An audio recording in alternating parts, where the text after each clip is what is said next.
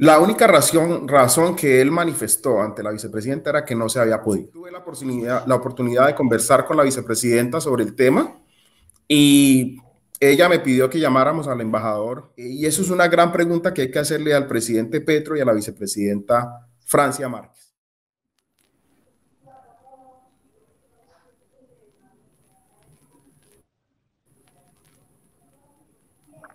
Hoy tenemos el honor de contar con Hernando Viveros, un colombiano, afrocolombiano, líder en los Estados Unidos y en las organizaciones multilaterales, como en el caso de la OEA, figura clave además en las relaciones entre el presidente Petro y las autoridades legislativas y también eh, de organizaciones multilaterales en los Estados Unidos. Hernando, es un gusto tenerlo aquí. Eh, es un gusto para mí, Juan Diego, un placer saludarte eh, y a toda tu audiencia. Gracias por, por invitarme aquí a, a, este programa. Muchas gracias. Eh, quisiera empezar, Hernando, por preguntarle cómo está en este momento su relación con el gobierno Petro. bueno, esa es una muy buena pregunta, Juan Diego, y de un carácter importante. Yo creo significativamente que el gobierno del cambio es el gobierno de la gente. Creo que eh, la llegada eh, al gobierno del presidente Petro y la vicepresidenta Francia Márquez eh, nos llena de esperanza. Nos llena de esperanza en el sentido de que hay muchas promesas incumplidas del Estado colombiano y que hoy en el ejercicio del presidente Petro y la vicepresidenta Francia Márquez, creo que esos sueños se, se pueden hacer realidad y se están haciendo realidad, llegando sobre todo a las regiones. Creo que mi relación con, con el gobierno del cambio es una relación, diría yo, eh, de mucho afecto, también de, de, mucha entrega por el ejercicio que tú has manifestado, por mi labor acá, desde sociedad civil, como actor de la sociedad civil, eh, en el marco del sistema interamericano y como coordinador de la coalición de comunidades afrodescendientes para las asambleas generales de la OEA y las cumbres de las Américas. Eh, he tenido una relación eh, estrecha, diría yo, en ese marco de la incidencia política y estratégica de las acciones de, del presidente Petro. He acompañado algunos de, de, sus ejercicios antes de llegar al poder eh, que han sido positivos, ¿no? No solo para la vida de él, sino eh, también para la vida del país. ¿Podría explicarnos la situación actual y su denuncia respecto al incumplimiento de los compromisos por parte del gobierno Petro? Bueno, básicamente, eh, Juan Diego, yo diría que más que incumplimiento del, del gobierno, yo creo que es más bien algunos funcionarios que son negligentes sobre todo con, con algunos compromisos del, del, presidente Petro, y que le dan, le dan un alargue, diría yo, que luego a uno lo deja eh, desconcertado. Y lo digo porque pues hace ya, va para un año, que tuvimos una conversación frente a, a mi posibilidad de, de, poder servir en el gobierno. Se delegó eh, al embajador de la misión ante la OEA para este ejercicio y hasta el sol de hoy no, no hemos tenido ninguna respuesta positiva. Tuve una reunión con él eh, donde se habló del tema, pero no hay ningún seguimiento y, y, que con certeza ese ejercicio se pueda dar, Juan Diego. ¿Qué promesa le fue hecha durante ese encuentro? Si no estoy mal, se dio durante una de las últimas visitas del presidente a Washington y donde, por cierto, coincidió con la celebración del cumpleaños. En ese momento, ¿qué le prometió el presidente? Bueno, básicamente en, en ese ejercicio de su primera visita del presidente Petro a Washington, eh, tuvimos una conversación, diría yo, como muy franca, muy sincera, eh, sobre mi experiencia y mi ejercicio eh, de, de liderazgo desde sociedad civil en el sistema interamericano y yo le manifesté al presidente que quería servirle al, al país, que quería servirle al gobierno y que pues utilizara mi experiencia para, para eso, ¿no? Sobre todo en el marco del sistema interamericano. el presidente pues manifestó eh, como una acción muy positiva y le manifestó pues a su embajador ante la OEA eh, de que era necesario mirar la posibilidad de que pudiera servir en, en alguna de sus posiciones. Eh, luego tuvimos, como le dije, una conversación de seguimiento con el embajador, pero esto no se ha dado, Juan Diego. Y pues es una pena. Entiendo. Después de ese primer encuentro que se da en el marco de esta celebración del cumpleaños del eh, presidente Petro, volvieron a insistirle al embajador sobre su posibilidad de trabajar allí. Eh, sí, Juan Diego, vino la Asamblea General de las Naciones Unidas en el mes de septiembre y nosotros tuvimos el, honor de que la vicepresidenta eh, Francia Márquez viniera a una agenda a, Washington, D.C. y en el marco de una recepción en la residencia eh, del embajador de los Estados Unidos en Colombia, eh, tuve la oportunidad, la oportunidad de conversar con la vicepresidenta sobre el tema y ella me pidió que llamáramos al embajador ante la OEA Luis Ernesto Vargas sobre el tema eh, para tener una conversación de, qué era lo que había pasado. Y, básicamente eh, el embajador dijo que no había podido, ¿no? Que había muchas cosas pasando y que no había tenido la oportunidad hasta ese momento de, eh, de poder responder con la solicitud que le hizo el presidente. yo creo que, que estas cosas no pueden estar pasando, Juan Diego. Creo que eh, hay una esperanza de todo. Esa negativa, ¿Por qué ve usted esa negativa eh, del embajador Vargas de Colombia en la OEA a concederle, a obedecer, pues prácticamente una instrucción que le dio la vicepresidenta y el presidente? Pues Juan Diego, déjame decirte que Realmente eh, no tengo una respuesta del, embajador con certeza.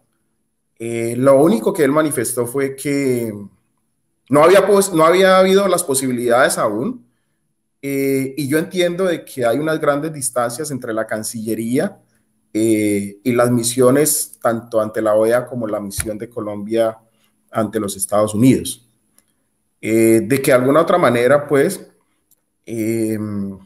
ese eh, ese ejercicio que quiere el presidente, que ha manifestado de que los actores de la sociedad civil, los grupos vulnerados, los grupos discriminados, podamos llegar a ser parte activa del gobierno, eh, eso todavía está en unas grandes promesas. Si bien es cierto, se han avanzado con algunas posiciones, algunas embajadas en, el continente africano, eh, para otros lados no hemos visto los mismos avances. Y esto es de gran preocupación porque el gobierno del cambio eh, tiene que verse reflejado en los más excluidos, en los, como decía la vicepresidenta Francia Márquez en su campaña, en los nadies, en los, en los que realmente esa Colombia no nos ha llegado. Y yo creo que tenemos las mejores presentes, Hernando, ¿quiénes estuvieron presentes durante la conversación en la celebración del cumpleaños del presidente Petro en Washington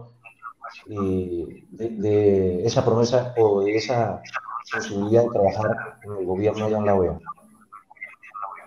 Bueno, en ese, en ese, eh, eh, ese día, eh, en, ese, en ese ejercicio que estuvimos ahí de conversación, diría yo, muy sucinta y breve con el presidente, en el marco de sus cumpleaños, el, es senador Roy Barreras, eh, quien es ahora pues eh, embajador ante el Reino Unido, él en su Twitter eh, colocó una foto de las personas que estábamos ahí y sobre todo pues una foto con mucho ánimo y mucha alegría de celebración de los cumpleaños del presidente. Estaba el presidente de la Cámara de Representantes en ese momento, David Racero, el presidente pues del Senado en ese momento, el, senador Roy Barreras, estaba el embajador de la misión de Colombia ante la OEA, eh, Luis Ernesto Vargas.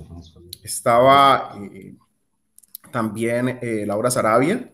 Y estábamos en la casa, pues, de, una amiga y colega muy, muy fuerte con el presidente y también de los derechos humanos. Estábamos en la casa de Cristina Espinel eh, con su familia. Entiendo. ¿Y eh, cuál fue la respuesta, cuáles han sido las respuestas, las razones del embajador de Colombia ante la OEA, Luis Ernesto Vargas, frente a las solicitudes y requerimientos que le han hecho la vicepresidenta y el mismo presidente? La única razón, que él manifestó ante la vicepresidenta era que no se había podido. Y que no se había podido porque eh, básicamente, eh, como este es un, gobierno que empezó hace año y pico, todo el tema con Cancillería, eh, han habido, diría yo, grandes, grandes tropiezos a la hora de fundamentar posiciones. Eh, creo que es un tema también eh, que tiene que ver eh, con cómo se maneja y cómo es la estructura de la Cancillería. Esa es mi apreciación personal, pero no he visto que haya un ejercicio desde el embajador proactivo a que este, esta petición del presidente se dé. El, el embajador de Colombia ante los Estados Unidos, Gilberto Murillo, ¿tiene conocimiento de esto también? Eh, bueno, en el marco de una recepción que hubo en, la residencia del embajador, eh, yo tuve la oportunidad de conversar con él sobre el tema y le manifesté que en el caso de que él tuviera la oportunidad de hablar con el presidente Petro, pues que pudiera decirle que mi tema todavía no se había resuelto. Eh, luego me lo encontré al embajador y me dijo, Hernando, todavía no he podido ayudarle, estoy en deuda con usted y pues ya estamos finalizando el mes de enero de 2024 y todavía eh, nadie, da, eh, nadie da una razón. ¿Ha tenido la oportunidad directamente de trasladarle estas inquietudes a la vicepresidenta o al presidente? Bueno, a la vicepresidenta se, la, se las manifesté cuando estuvo acá en, en septiembre y luego a través de, alguna conversación, pues a través del chat se la, se la envié también, eh, pero entiendo también la, situación, eh, cómo está en Colombia. Em, pero sí es una pena, eh, Juan Diego, que esto pues esté pasando. Yo soy una persona que he entregado mi vida al tema de los derechos humanos, sobre todo aportarle al país sin distingo político. He sido muy cercano diría yo, a los temas ideológicos eh, que tienen que ver con eh, la promoción de los derechos, eh, que tienen que ver con las acciones afirmativas, que tienen que ver con la inclusión y que tienen que ver con la diversidad y sobre todo en el marco de, de los afrodescendientes. Entiendo. Mm, en medio de todo esto que está viviendo usted, ¿se siente un poco defraudada? Yo creo que eh, yo creo que tengo un sentimiento eh, en el corazón, Juan Diego, eh, que, a uno el, corazón se le, se, le, hincha a veces cuando pasan esta serie de cosas, porque resulta que se han ido posicionando otros actores y actoras que de alguna otra manera eh, ni siquiera van en línea con la política ni la ideología de este gobierno del cambio. Entonces, creo que ha habido una pre, eh, prelación para ellos y para quienes venimos en un proceso de muchos años, eh, se nos ha dejado en el olvido. Esa es mi apreciación. Yo no creo que, que, que sea pues una cuestión compleja eh, de, que me sienta defraudado, pero sí tengo mis sentimientos encontrados. Mis sentimientos encontrados porque además yo represento una comunidad y la comunidad te está viendo y te está diciendo, Hernando, bueno, tú lo que has hecho eh, en tu línea de derechos humanos, de derechos de los afrodescendientes, estamos viendo que están posicionando a otra gente y ustedes que venían con el proceso, eh, los tienen aislados, los tienen alejados. Eh, y eso es una gran pregunta que hay que hacerle al presidente Petro y a la vicepresidenta Francia Márquez. Es decir, se han nombrado a otras personas que no son de la corriente ni de las entrañas del gobierno en estos cargos incluso de representación ante la OEA. Y más, más, yo creo que más allá de la OEA, en la OEA no he visto todavía ese ejercicio, eh, pero sí, eh, Juan Diego, en los otros escenarios.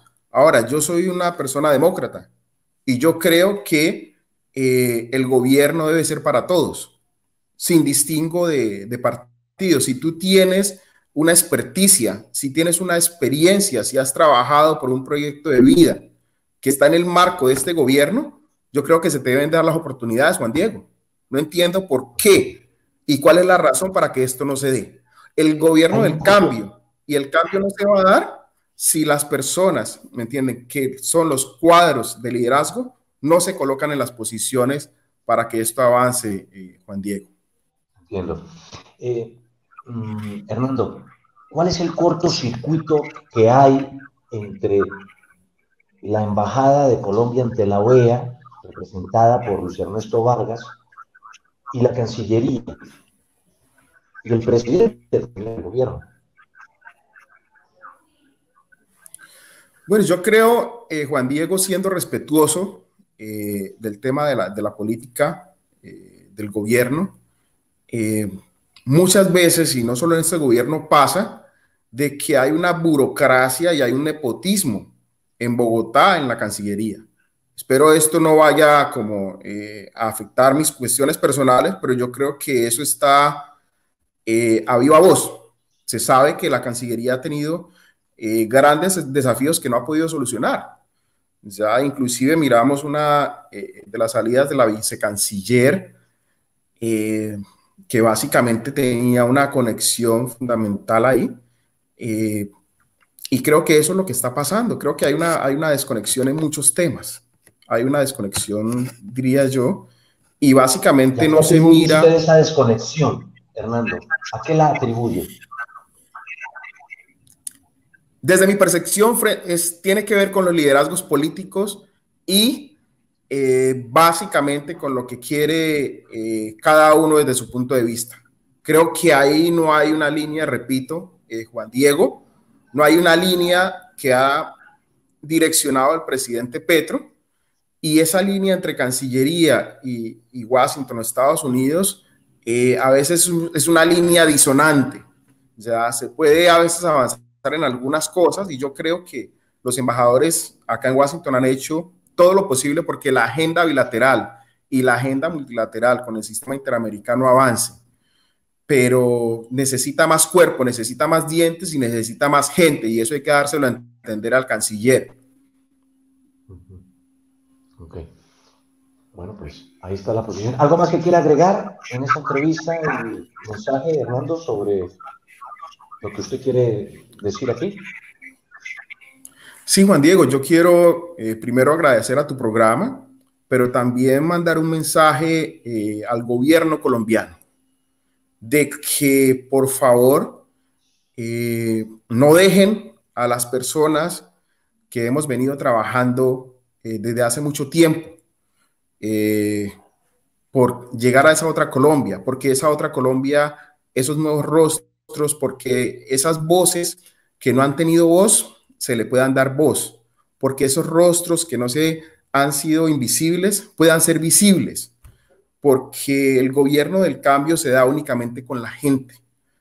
Y desde el exterior, eh, te lo digo Juan Diego, eh, es muy complejo porque uno puede eh, meterse a sus cuestiones personales y hacer su vida individual y dejar al lado el tema colombiano y olvidarse del país. Pero nosotros todavía creemos en el presidente Petro, creemos en, la vicepresidenta Francia Márquez, creemos en sus políticas. Y como te dije, no solo vemos más de 6 millones de colombianos eh, en el exterior, que es una gran diáspora colombiana y que esa diáspora necesita articularse y necesita generarse ese liderazgo y que el gobierno pueda dar la posibilidad de quienes hemos estado en ese ejercicio eh, podamos participar de manera activa, de manera proactiva. porque a nosotros eh, Colombia lo llevamos en el corazón. Pues, pues como lo dije al comienzo, la verdad es, es, un honor. Hernando, gracias por aceptar este diálogo.